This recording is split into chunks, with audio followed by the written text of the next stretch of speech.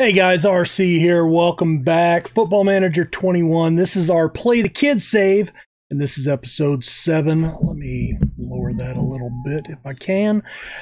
Uh, so anyway, we uh, today we're going to be playing Truro uh, with highlights, and then we'll be playing Poole on camera.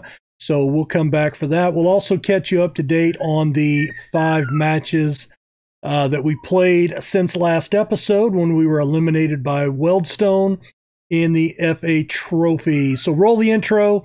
Oh, birthday balloons. Yep. Happy birthday to me last week. And uh, yep, we'll see you guys back after the intro.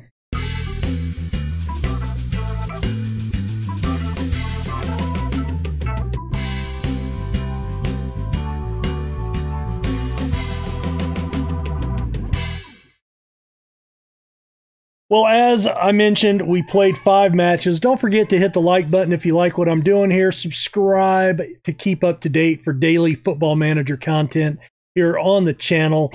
And let's get into it. I'm actually anxious for this save to start progressing so we can uh, kind of get into the root desire I have for this save, which this year really can't do. I'm doing it as much as I can, but we just had a need for players this year.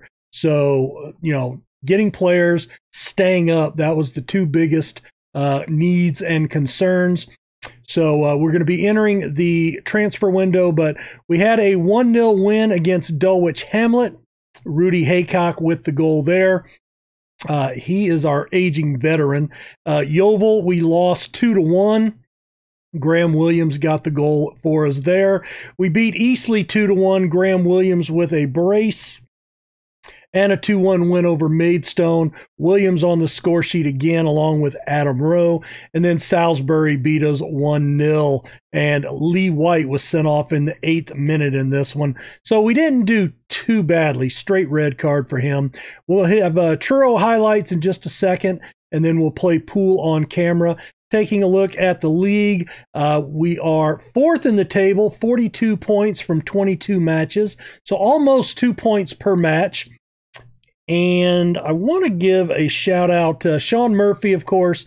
Uh, he gave us the kit and logo packs for Tiverton. One of my new viewers, Geronulet TEW, shout out, welcome to the channel.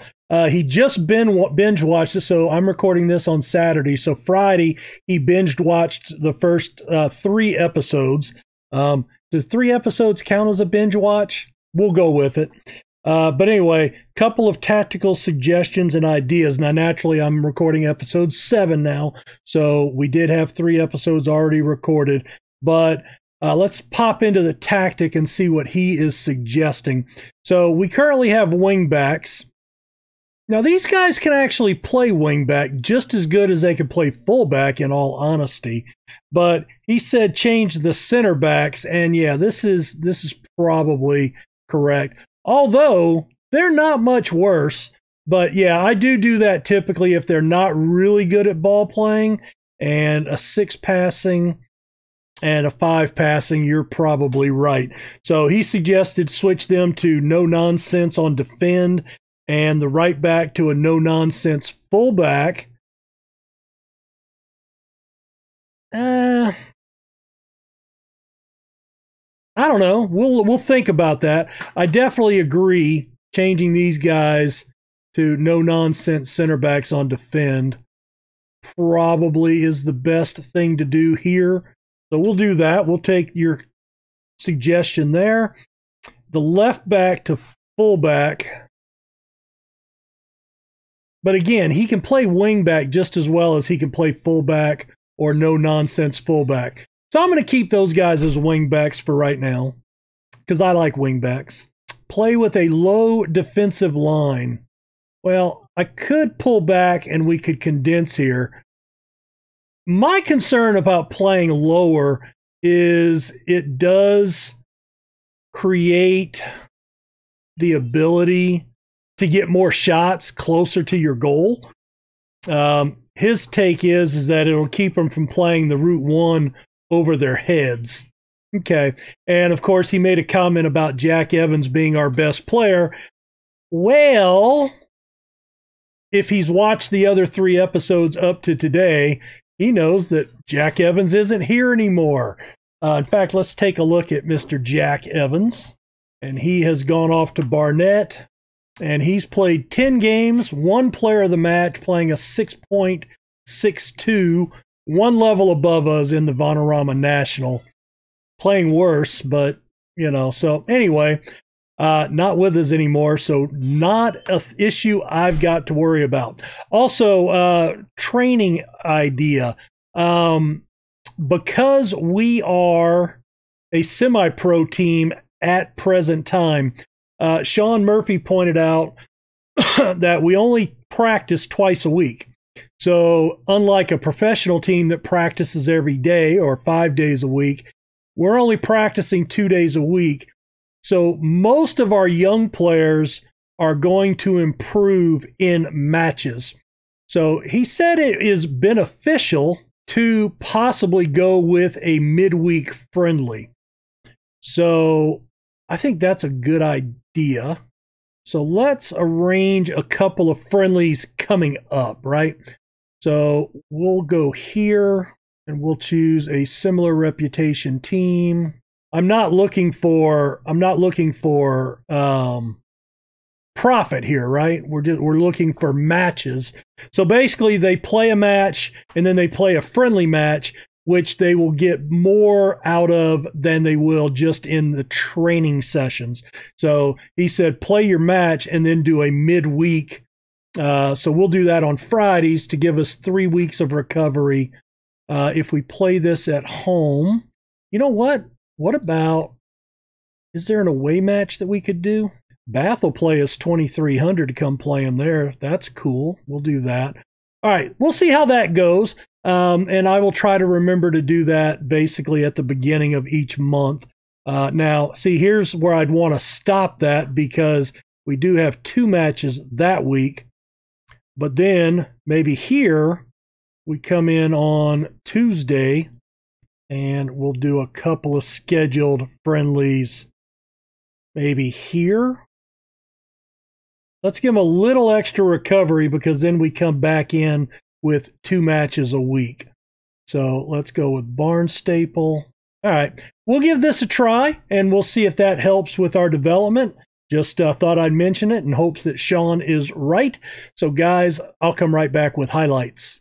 So, we're playing our 4 4 2 here. We have changed our center backs, as you saw. A near post gets to Hemmings and he puts it in across the keeper to the back post. A set piece header there. Williams blazes one in, but it hits the woodwork, comes right back to him, and he gets the rebound for the goal. I actually saw that happen against Leeds earlier this year uh, in real life. Across to the back, Wilkins on the wing comes in untouched and blazes that one past the keeper, making it 3 0 Tiverton. There's a shot from the edge of the box from McGrath, and um, he beats Murphy, making it 3 to 1. And an ode to Lelujo. Uh, we have renamed uh, Jake Dunk to Slam Dunk. Way to go, Kev. Uh, and I admit stealing that from him. Uh, they do get the rebound. Murphy with the save initially, but the rebound goes in, making it four to two. Williams gets past Bates. He's running in. Haycock was off the bench at this point. Williams with his second goal, making it five to two, and that would be the final. He also missed a penalty uh, just before halftime. So that was a good result for us there. Moves us up into second although the other teams have not played today. But we're, pl- we're doing well. Things look like they have changed for us uh, from uh, early on in the season. But now we play Poole in a few days. Let's get to that kickoff. I wanted to pop back here since we're at the end of the month and the beginning of the following month. So our attacking is considered aggressive clinical, and our defense is considered busy and impenetrable. So we're doing well there. Finances wise, we're down to 139,000. We did lose 41,000 this month. Uh, most of that is in staff salaries. I'm going to have to consider laying off some staff, I believe. uh, making do with a little worse than we have. Now, the funny thing is, we're not full up. I only have one of two scouts, uh, and I would like more, but um, yeah, we just, I mean, we're nowhere near the best side here. The only people we brought in was our coaching staff. So, not much I can do there. There are a few players that I think, uh, in talking to Sean about, that I'm going to get rid of. Uh, and when I do that, we'll talk about why.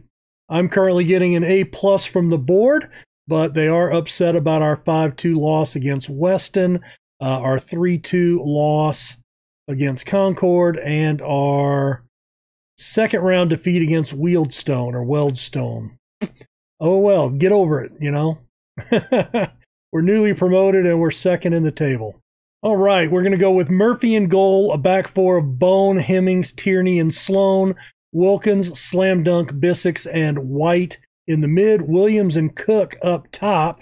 We're in the yellow kits. We are playing at home today. Got a nice little turnout in the covered side here for our home fans. Nice ball dropped into Sloan, and he gives it away. Great job. I am uh, really giving some thought to not re signing him. All right, we're building up from the back again. Here's Wilkins. Over to Bissix. He goes over the top. A flick on header. Cook controls it, and it goes in. Oh, and deflected away. I think that was off of Jabrin, though, and that's going to set up a corner for us. Let me double check and make sure. Yes. All right. Because I did change that to no nonsense center back. And uh, that was done before we played out the uh, the the uh, match last the highlight match. And there is a set piece, and it's Hemmings making the run at the near post, and he puts it in another header, and uh, that is looking really good. So two shots, one on target, and we have a 1 0 advantage. Let's encourage the team here. That puts us up into first place on goal differential, and I guess on a tiebreaker. A cut hand. I don't think we need to sub him out, let him run over and get a bandage on that thing. All right, Tierney lumps it forward. Cook is going to run onto it. He's there. Laid back, and it's Wilkins who shoots wide. Uh, let's see, White.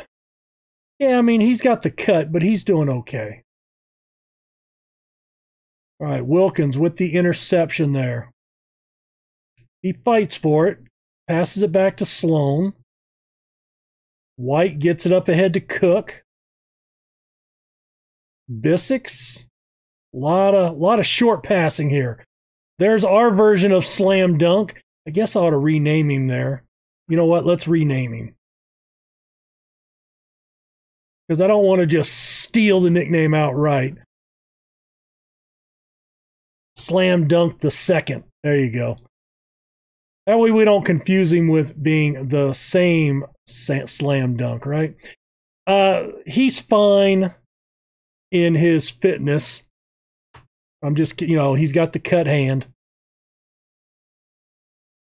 And White sits on that ball a little too long, and that's lumped forward. Well, at least it didn't go over his head.